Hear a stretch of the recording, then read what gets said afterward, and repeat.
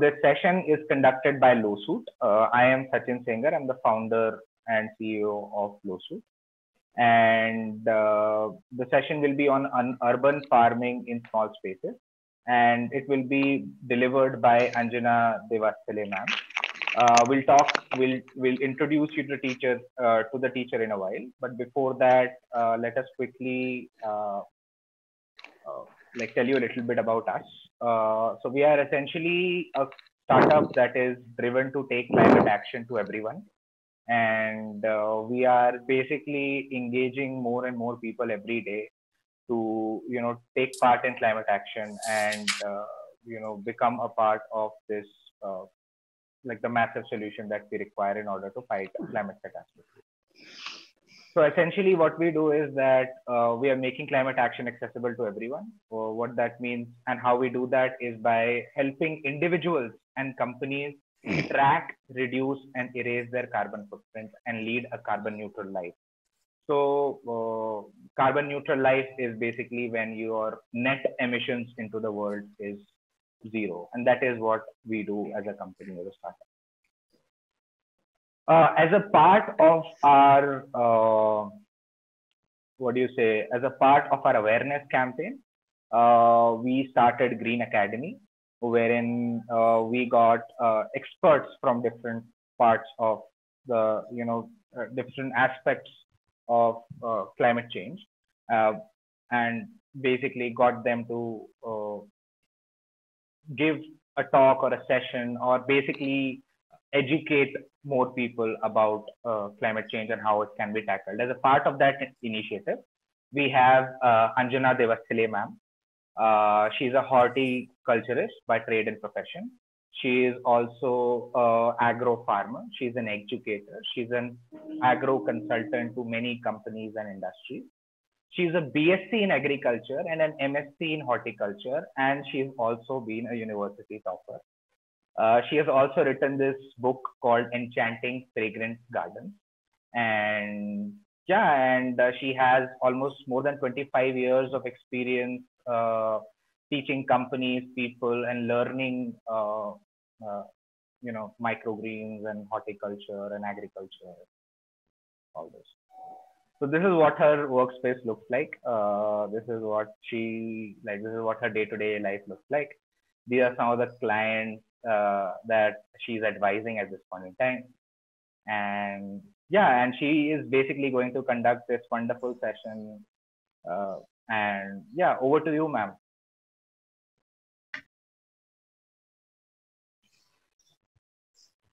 Yeah. Uh, good afternoon, everybody. Um, wish you a very happy Gudi Padwa and Ugadi and it's new beginning okay? It's new year so new ways we are going to start. And so many new things to do and so many new things to do sustainably. Uh, so in this workshop that we are going to conduct and the course that follows i'm going to create a possibility of you will be able to grow your own a part of your own food sustainably. That was you can grow with your own hands in front of your own eyes with your family and that food that you grow, a part of that food that you grow, will be chemical free, which will be, you know, absolutely pure. That you can just and uh, talking about the carbon credits and all, you know, just how you can uh, experiences that the food that travels will be from your window directly to your table. So it's just going to be the um, carbon footprint can reduce just by reducing the you know food miles that your food travels. So basically, in this course that will be uh, today, I'm just going to show you what I do. I stay on the apart from all the things that I do for my clients and um, on the farm. I am an urban farmer. I stay in Thane, which is near Mumbai, and um, I stay on the 10th floor. In Mumbai, we have a great space crunch for spaces. So uh, I do not have any terraces. I do not have any balconies. All that I grow is in my windows. My windows are my farms. And from my farms, I have every day, I have something to harvest for my large joint family. And there is something for the smoothies, there is something for the salad, there is something for the chutney.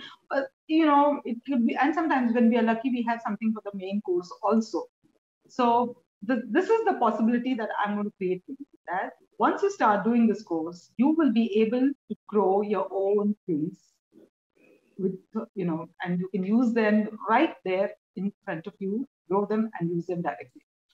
Um, so, you know, there is one trend these days that is unboxing. And the trend that we are going to start today is harvesting. Uh, so I'll be talking about the trend of harvesting.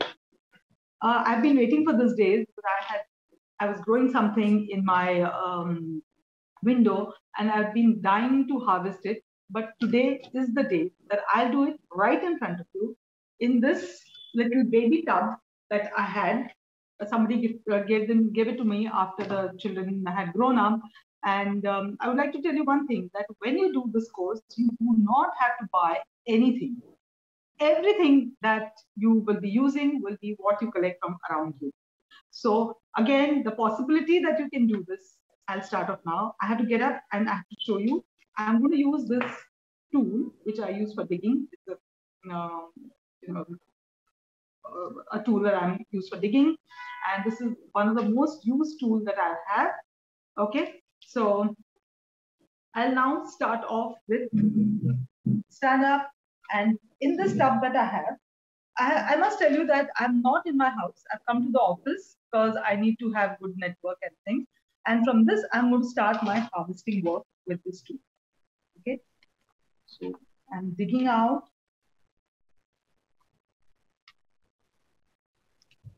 Right. And when I dig, I'm harvesting these white onions right in front of you, right from my window that I had been waiting for. And here they come. Okay. So, and these are so, these are going to be so delicious, so flavorsome because all that they're being grown in is organics. There has been no pesticide, no chemical, nothing. And that is what I'm going to teach you, you know, that in such a small space, one of the biggest constraints of growing in the city is that we do not have space. And in that little space that I have, that I can, in a week's time, I grow so much in such a small space, I can grow so much of veggies. You know, this is my, this is going to be my veggies for the evening sabji or bhaji that I'm going to. And this also has, it is so fresh and tender that I can use it as a salad. Can you hear the, the crunch? So this is the magic that when you start doing something in the urban farming, this is the magic that you create in such small spaces. In such small spaces, you can harvest. In such small spaces, you can grow and make the best of the use of the space that you have. So there are so many things, you know, uh, because just because I can't carry my entire garden, this is one of my favorite veggies because I don't have enough space, I hang things. And this is the Malabar spinach, which keeps coming and coming. So uh, the more I harvest, the more I grow. You know, the more I grow, the more I harvest, and the more I harvest, the more it grows. So it is like this. My favorite pudina, which flavors my chutneys and my smoothies every day. So everything that I have is in hanging right? So if you have a great pace, great, you will be growing, it will be very easy for you to grow. But if you have a small space like me, the window, then also you will be able to do a lot of things. So that is my promise. And this is how the course will be about. Um, I'll tell you briefly about the course, how it will go. Uh, right from the basics, there will be a great, uh, there will be in-depth explanation because I'm sure a lot of you people, a lot of you have, I am from Mumbai, you would have joined from Bangalore, you would have joined from Delhi or wherever in India, and the soil and the climatic conditions are going to be different.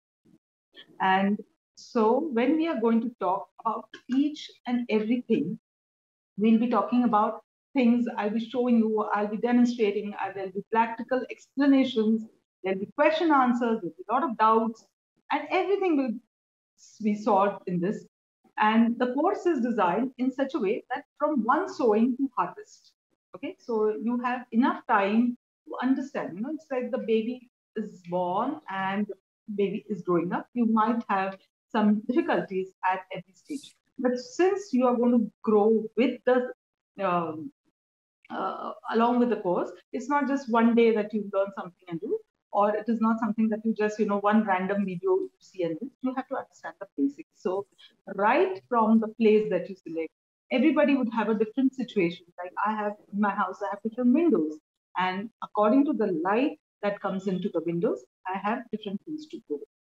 So depending upon the, we'll be, you know, in the, when you join this course, you will be given little little uh, tasks that you have to observe the amount of sunlight that comes into the window, or the kind of uh, time that you have, or to do your gardening, or uh, do you have some problems that come to gardening.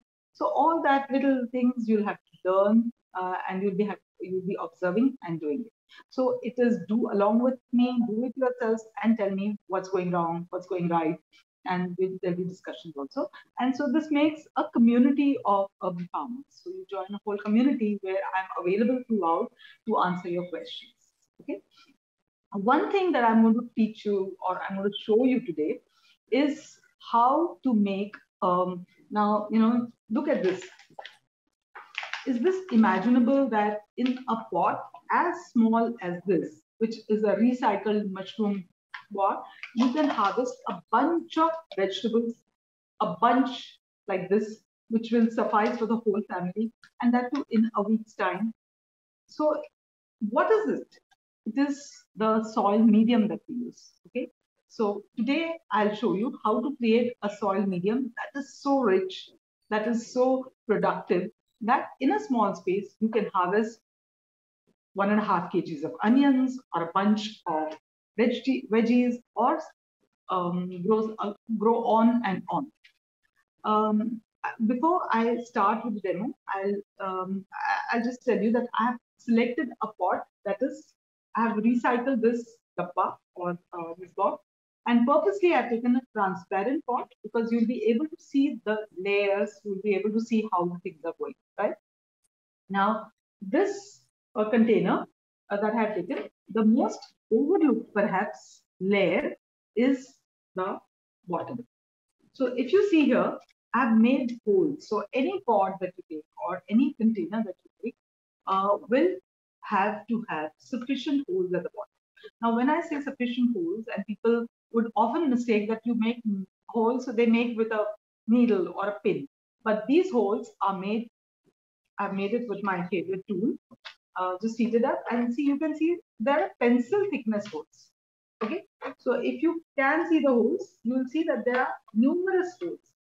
Now, the need for these numerous holes is that the water should not stay now, these holes actually work as the kidneys. They work as the kidneys of the pot, if I, if I have to use an, an analogy, because they allow the excess to flow off.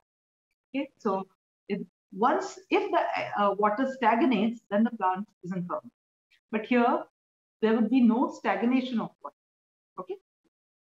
Now, another thing uh, we need to um, the challenge you know i'm sure most of you who are urban farmers or who grow things in the windows would always experience this problem that um, the material that you need has to be lightweight you know so if i were to take something then there's always a problem of like me staying on the 10th floor that the water is going to drip out or the pot is too heavy or the soil you know uh, the plant is not doing so well so when we are making the medium, so we'll not call this the soil, we'll call it the medium. When we are formulating it, it has to address a lot of questions. First, it has to be well draining. So these we put the pots. Second, it has to be lightweight because it, you know, it, when like when I hang the plants in my grill, they have to be light. They can't be heavy, you know, that the grill comes off someday. And um, uh, that also ensures the safety and another thing that uh, I have to handle is that it has to be entire, it has to be very, very, very productive. Because as the plant grows, I'm sure most of you have uh, realized this, or I don't know if you have uh, experienced this. A lot of people come to me uh, during my workshops and things that, you know, when we brought the plant from the nursery, it was looking very healthy. The plant doesn't like my space. you know, now it's looking, it's not looking so healthy. It's looking unwell, or it's looking sick, or is it going to die? Is it drying? So all those questions are because we uh, initially the plant when it is in the nursery, it is very well looked after. It's rather not looked after only, it is pampered. But when it comes home, we all we do is water. Okay, I think that's most of the people do. All that they do is water. Whereas what the plant is doing as the plant is growing also needs food.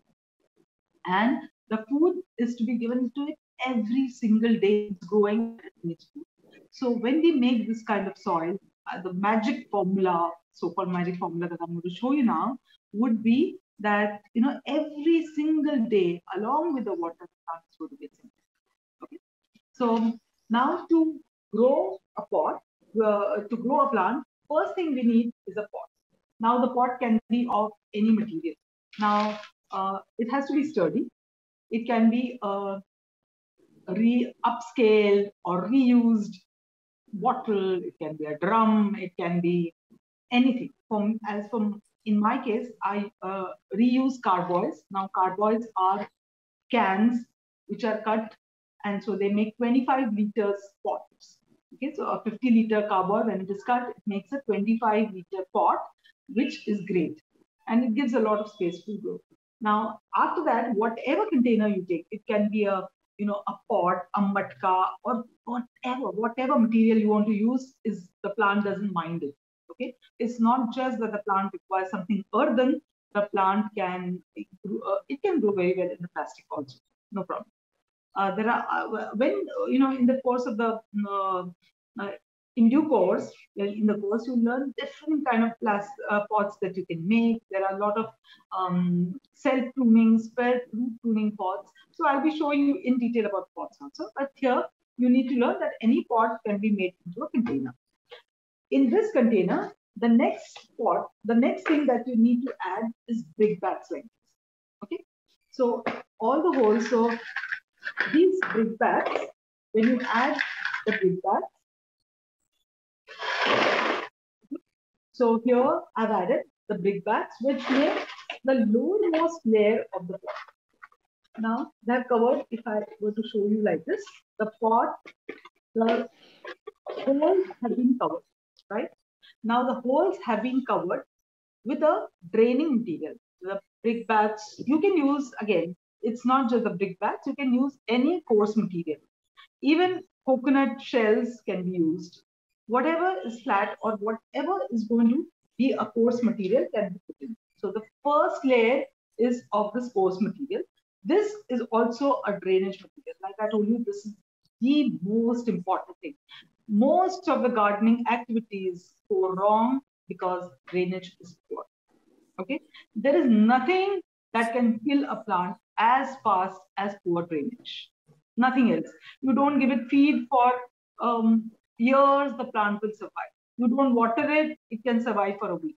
But poor drainage leads to poor conditions and the plant unknowingly dies. Fine.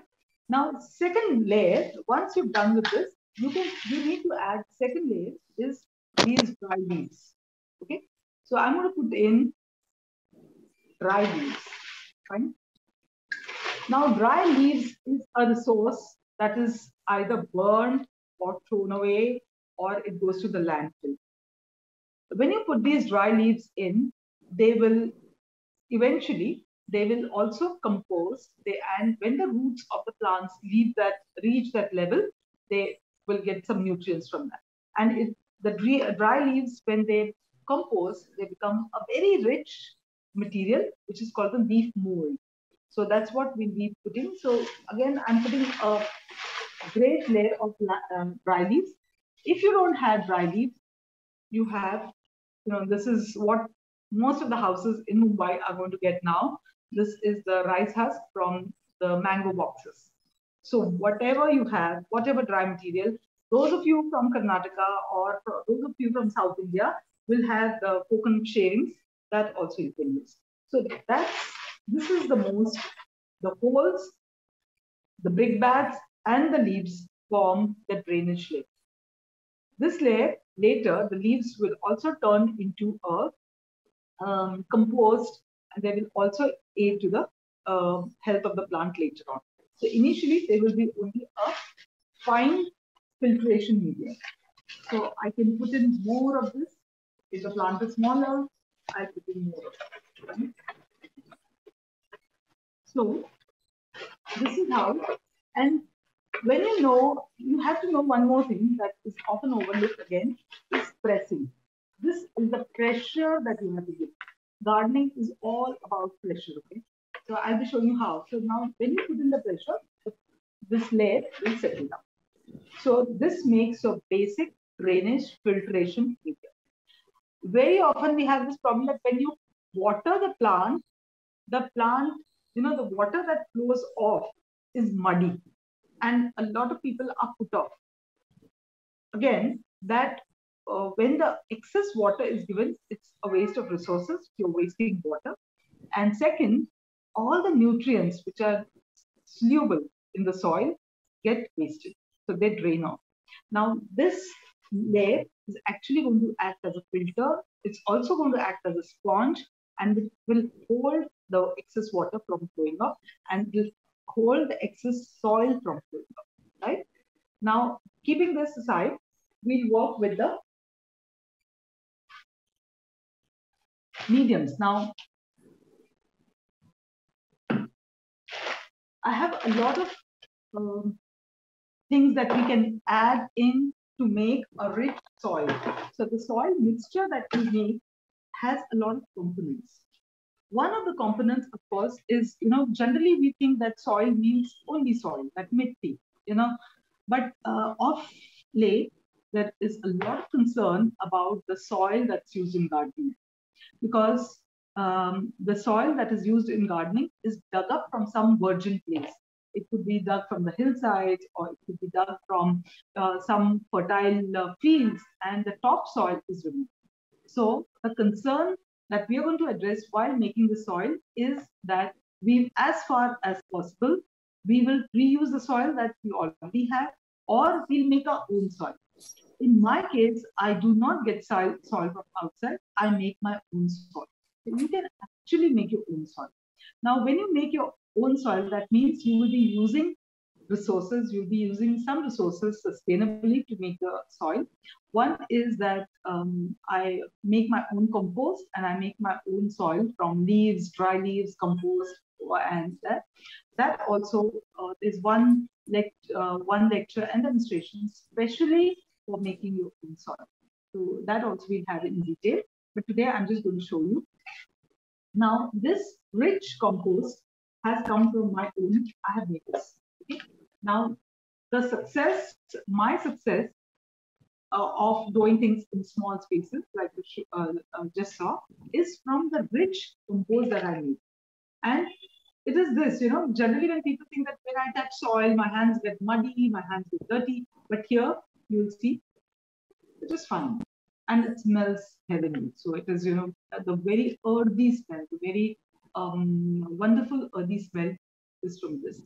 So this is one compost. And the best thing about this compost is that apart from giving nutrients to the plant, uh, it makes the soil or the medium very rich in nutrients and it acts as a sponge. It holds the water and releases the water and the nutrients slowly to the plant. So this is one compost. Then the second medium that I use is this is the second medium, and this is called coco peat. Now, coco peat is the it's now the rev, revolution in gardening and revolution in horticulture. Uh, so till now, uh, till a recent year, uh, a few years, um, the coir industry, the coir industry was this was a waste of the coir industry, but now it has been uh, it is being used in the uh, agriculture, it's being used in floriculture, it's used in soilless gardening. This is the material that's being used, and it is an excellent medium to do it. It's neutral. Basically, it does not offer any nutrients, but it adds texture to the soil. So it holds water, it holds nutrients, and releases. So it's again the second spongy medium that we have. Then the third medium that I have here is my from my first growth of plants, the soil that I had kept. So I had I have harvested some veggies and some plants, and this is the soil that I'm going to reuse. You know, uh, there is like in um, in our uh, place, people have this trend that mitti badalni. I have to change the soil of my pots. That's not done. No, how can you just throw away the matti and let it go to the landfill? So you will not be throwing away any mitti. You will only be recycling and you'll be you know adding to the nutrients to make it rich. Apart from that, here I have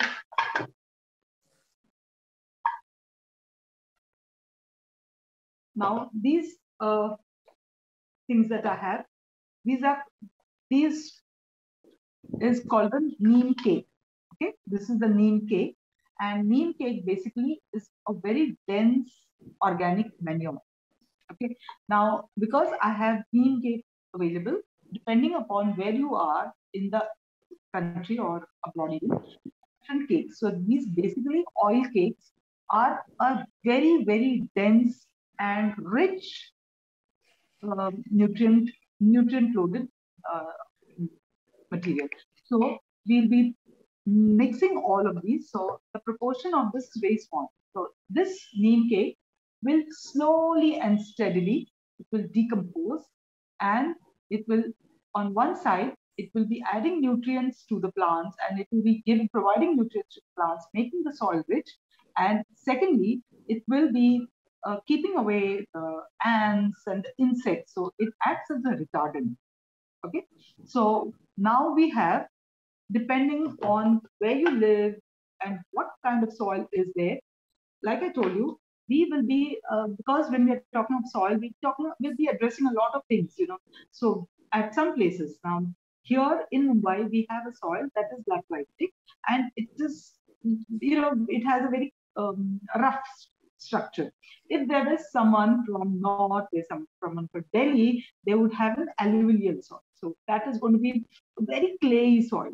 Okay, so uh, I would be addressing you. You will learn and you will be seeing how any soil can be converted into different, you know, into a very um, uh, aerated, very fluffy soil by using So you can make your own mix and matches. After this uh, lecture or after this um, demo that you're going to see, you will be able to grow any plant with with rich soil, right? So here, depending on which soil you have, you will be changing little textures, you know, like if I were to have this workshop in Delhi, I would have told them that add a little more of coconut. So your the dense soil would become more fluffy, which otherwise becomes very hard, would you know become more aerated, right? If I were to do this in some other place, I would, if I were to do this workshop in Rajasthan, I would have told them that because your soil is very sandy or your or, or the water flows away from that, let's add a little more of compost and let's add a little more of um, um, cooking. So, you know, these are mix and matches and additions that you'll be able to make. And that's how you're going to, right? So here I have now, if you can see this, I'll stand and show you. This, this is the soil that I had, reused soil, which I'm going to make. And then I have the compost from my garden, the compost from my pots. I'm just going to make them into one part of compost, one part of reused soil. Yeah. So this is my reused soil this is my compost and this is my coco peat. Unfortunately, I see on the screen, you don't see the colors, but here I see them brown, uh, black, and light brown. Fine. So this is my old soil, which is, you know, leached of all the nutrients. The plants have grown in them and consumed all the nutrients. This is the compost that I have from my garden that I have made from a bin and this is the peat. So I have taken them all in one is to one is to one proportion. Okay, so they're all taken in the same proportion. 1 is to 1 is to 1 because here in Mumbai, the soil is um, Murmar. Okay, it is lateritic. So it is not a very, um, it does not allow a lot of water to sit in. Then in that, I have put a handful of my neem paint, the neem cake. That I'm going to crush because it's hard and it needs a pressure to cut and then right? So this all will be mixed up. Where? Fine. This is all going to be mixed up thoroughly. And this feel of mixing itself is weakness. Now, again, when you're mixing up all this, after it is mixed up well, you have to see that there's not too much water. No, it should not be, Then I'm going to sprinkle some water on it.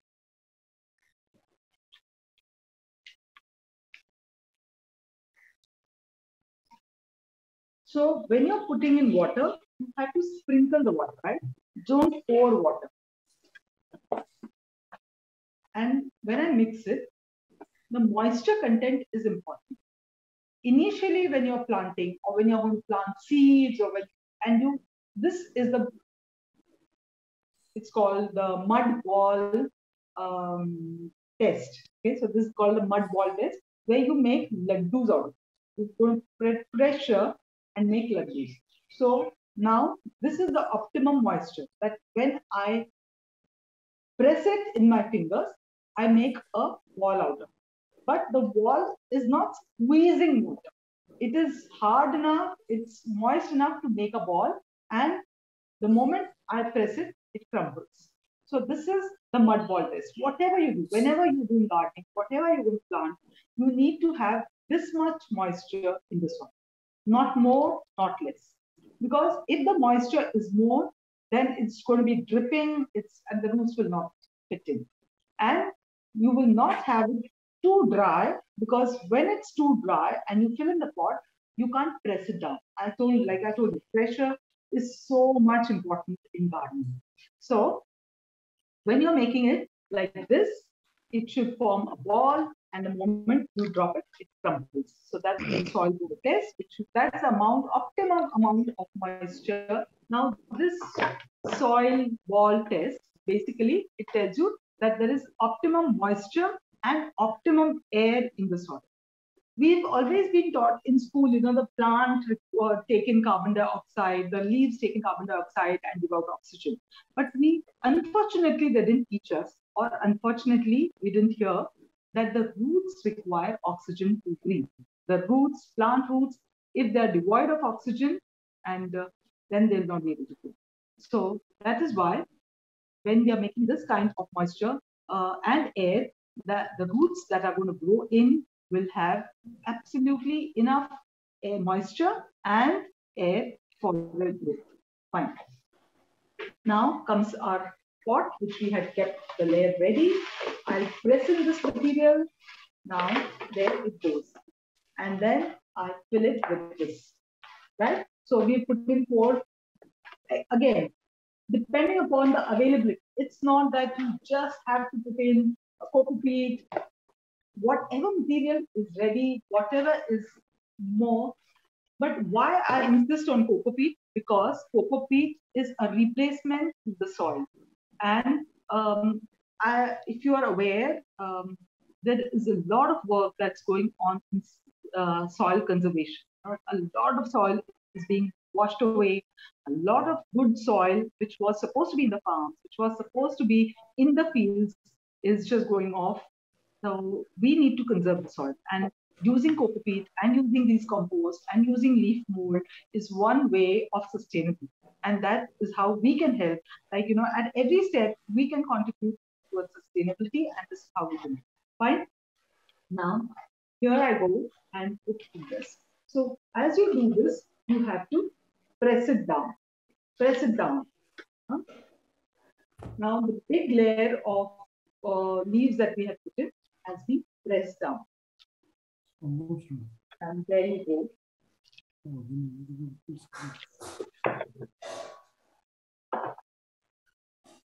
So now if I were to show you when I water this pot, the water that will flow away will not be muddy. My intention is not to let the water flow away. The first thing is, you know, uh, like I told you, you have to water it enough so that the it is water deep. The water should go to the lowest, lowermost layer, and it just should stop there.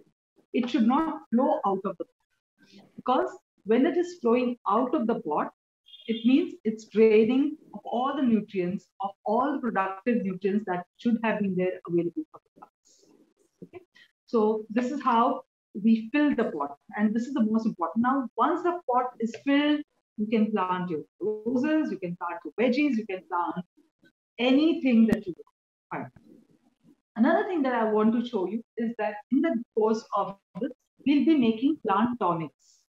Okay, this again, because our um, main inten intention in this uh, course on urban farming is to replace chemicals in all sorts of ways. So when we are going to make these, we are going to formulate our own plant tonics because as the plant grows, at every stage of tool, it needs nutrients. So one is the soil is going to provide all the nutrients. Soil mixture that we are making is going to provide all the nutrients, and it's also going to hold in the nutrients that we put from outside. So we'll be formulating our own plant tonics. We'll be formulating our own um, plant nutrients. We'll be form formulating our own uh, pesticides and plant uh, and pest retardants. So nothing that goes in for growing the plants is going to be bought from outside. It's all that we are going to make from what is available around us, what is available, and it will all be of biological origin. Okay, so this is what I will and I'm sure you have a lot of questions. I could see some things uh, popping up in the chat box, but I think at this stage I should stop. And I just wanted to show you how the course is going to go. And I'm open for questions now. I'm sure you have lots of them. And um, uh, over to you, Sachin. We'll... Yeah, so I'm sure a lot of people have a lot of questions. So it was a wonderful session. We really, really loved it. And I am definitely inspired to sort of have a proper garden in my house. I have a good balcony, so I'll definitely do that. Uh, yeah, and uh, so basically we'll have a Q&A, but we'll have it at the end. Uh, right now, we won't be able to, uh, like we'll, we'll do it at the end. That's, that's how we have planned it. Uh, right now, what I will do is I'll tell you about the course in a little more detail so that if you have any questions about the course or related anything related to whatever ma'am said, you can ask. Shows as black. Oh, now it is visible. Now it's visible. So yeah, so this course is for somebody who would want to grow veggies at in their balcony, and uh, if once you have taken this course, you will uh, basically be a micro expert in growing stuff at your place. Uh, there, are, there will be nine modules to this course. The first will be focused on understanding plants and their needs. Second will be understanding the soil, then propagation, then what uh, plant nutrition, composting, pests and diseases and weeds. How can we ensure uh, that's not happening to the plants? A garden calendar and schedule, uh, one of the modules, growing your own herbs and then microgreens. Um, if you have any questions related to any of these, you can either write in the chat or you can ask uh, during the session, uh, like during the Q&A. Uh, so who is it for? It is for somebody who wants to be a micro farmer, somebody who wants to grow at home, somebody who is a hobbyist, somebody who wants to adopt a sustainable life like lifestyle, and somebody who is starting off something in you know the green space and is a green entrepreneur. So that person can also take up this course. Uh, by 2045, we basically will be producing 40% less food uh, because of the rate at which the global temperature is increasing and how uh, the dynamics of the planets are changing. And it's very, very essential for us to learn this at this point in time, teach our kids so that they are, uh, you know, strong against the adversities that might come up in future. And uh, yeah. So now uh, what we'll quickly show is uh, one of uh, Anjana ma'am's student uh, who has uh, learned this from her. One of her. Hi, I'm Amita Nagarkatti. I'm a hairstylist by profession and a nature lover. I was never happy with the chemically ridden vegetables and fruits I used to get. So when I heard of uh, Anjana Devasthali's urban farming course, I jumped at it and I was more than pleased. Her excellent instructions and easy to follow methods have helped me and now I have a beautiful little vegetable patch in my pots in my window and I enjoy the fruits of her labor and I'm in love with what she has taught and it's an amazing journey. Thank you. These are some more testimonials uh, of Isha and Sri Sri Lata. We'll share this slide with you guys so you guys can also go through it later. Uh, yeah, so for all this, for basically studying for, for the nine modules, for doing uh, live classes every Saturday, uh, for all the recorded videos, for community support, for full lifetime access the videos, and then getting a certificate. It's a 12 week course as well. We'll, uh, the, the charges for the course is 9999. Uh, in this 9999, you'll get access to all of this for the entire lifetime. Uh, however, if you are uh, signing up for the course, uh, say in next one week, uh, you'll get the course for seven triple nine. You will have access, same same access, recorded videos, community etc., etc. Uh, certificate of completion, full lifetime access, live classes every Saturday will always be there. So for seven triple nine, if you do it in next seven days, However, we have an early bird offer uh, for somebody who goes ahead and chooses to uh, go ahead with the course. In next 48 hours, you get access to everything, but for uh, 5999. So a lot of value for the course at a very uh, affordable price. So yeah, so now we have the floor open for Q&A.